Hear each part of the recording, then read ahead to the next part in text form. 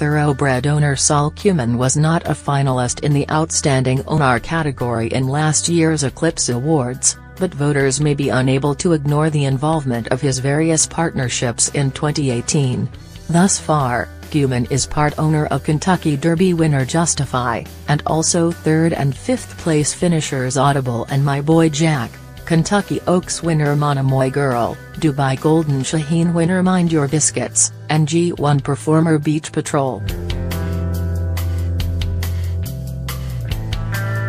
Part of the issue that kept him out of Eclipse Award consideration last year is that Kumin races under the names of several different partnerships.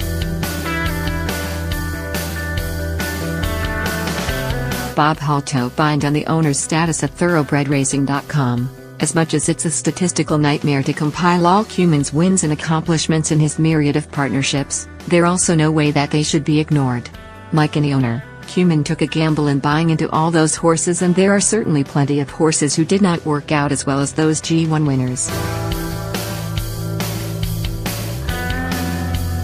For years, the Eclipse Award has gone to the connections of one horse or a large stable, but people like Kumin, who are great for the game, are changing that.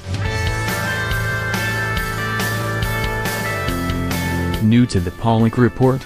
Click here to sign up for our daily email newsletter to keep up on this and other stories happening in the thoroughbred industry.